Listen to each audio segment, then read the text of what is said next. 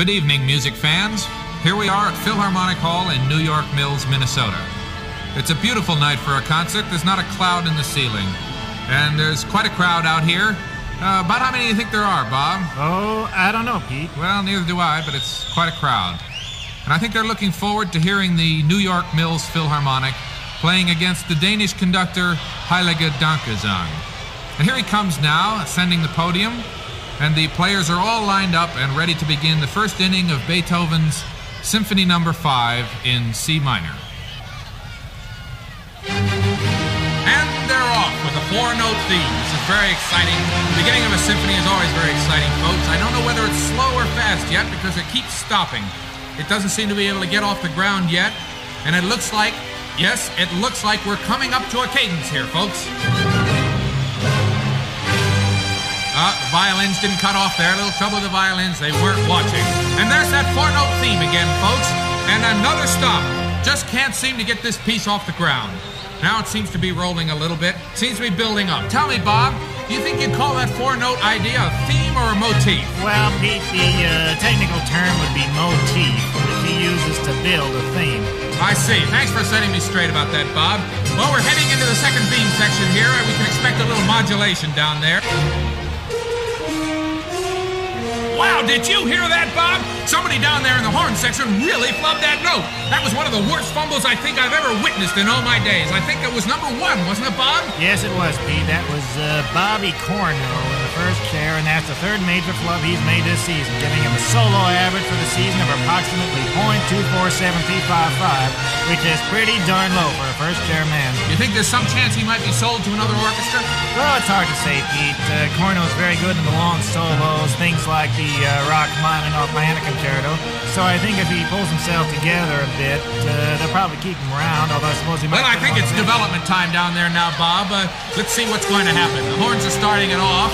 Uh, they seem to be in pretty good shape now, and I get the feeling that we're probably going to be hearing a lot of that four-note motif, don't you, Bob? Yes, I do, Pete.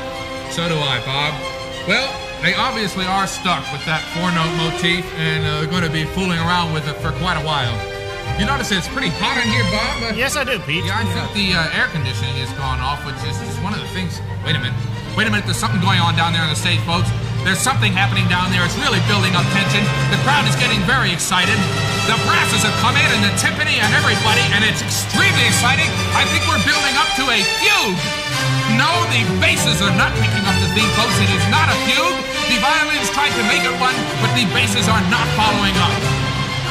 No, instead of a fugue, folks, he seems to be taking the theme and breaking it up into little pieces. Just two notes left of that theme now being thrown around from player to player. And it's getting softer and softer down there, folks. I think they're losing steam. They seem to be running out of steam, and it's just getting a little bit lethargic down there, if you want to know the truth. It's gotten down to one note now, and things are. Wait a minute! The brasses have come in and tried to pep things up. A welcome relief but I'm afraid to no avail. Things are still pretty soporific. Wait a minute, they here they come again. They're really determined. It sounds very familiar, and I think we've reached the recap, Bob, don't you? There's no doubt about it, Beethoven symphony usually has a recap right after the uh, second quarter, and this one is falling right into line. Well, let's see if those violins can cut off with the rest of the orchestra and the cadence is coming up. Wait a minute. This time it's the oboe holding the note too long. Wait, he's he's playing a cadenza. He must be out of his mind. He thinks it's an oboe concerto. The conductor's standing down there. He doesn't know what to do. Have you ever heard anything like that, Bob? I certainly haven't, Pete. I think it was a disgraceful display of lack of uh, teamsmanship. And I wouldn't be at all surprised if Highwood's name wasn't on the roster next season, although I must say that the fans really seem to go for these uh, outbursts of temperament. Well, I always say, Bob, professional music teams wouldn't exist without the spectators. Anyway, we're into the home stretch here with the second theme coming up, and we should be in C minor right up to the double bar. Wait a minute. That's really something, Bob. The piece is build as being in C minor, and yet it looks like it's going to end in C major. It's really something, Pete. Well, I think it's something that the Composers Commission ought to look into, and I suspect that they will as soon as this uh, gets out.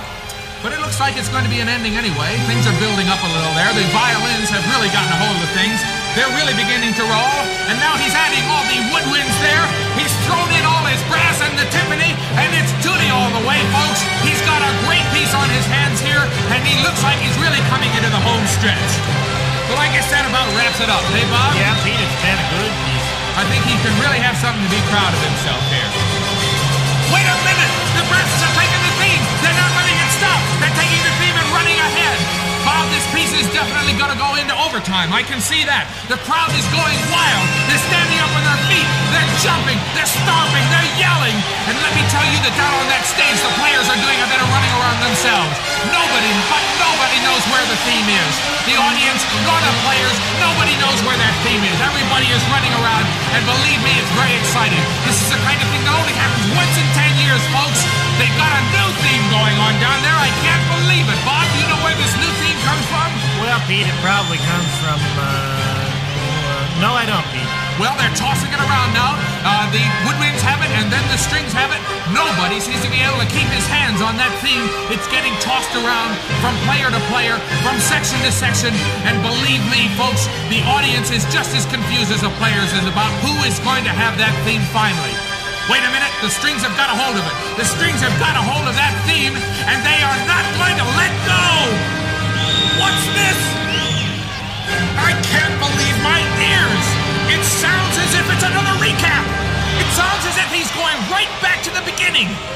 true, it's the first time it's happened in 10 years of concert casting.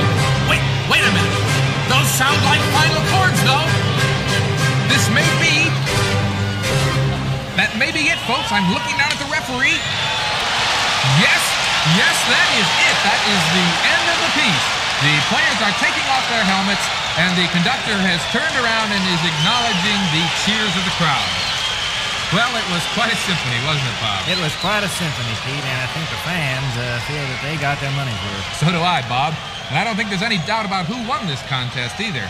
As a matter of fact, I wouldn't be surprised if the critics slap a stiff penalty on some of the players, particularly Bobby Corno. Neither would I, Pete, and of course, this was a very important victory for uh, Heiliger Dankgesang since it puts him right up there at the top of the Conductors League. That's right, Bob. That means that he'll be up against the Fargo Moorhead Symphony in the World 12 Tone Series next month.